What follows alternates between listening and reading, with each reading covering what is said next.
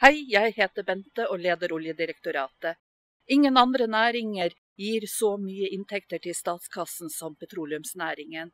Vi i Oljedirektoratet skal sørge for at disse inntektene blir størst mulig.